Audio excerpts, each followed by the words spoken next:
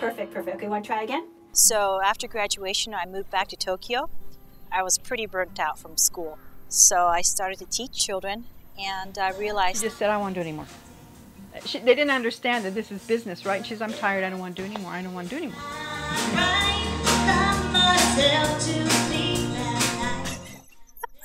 what the hell? okay. I'm talking to you, right? Okay.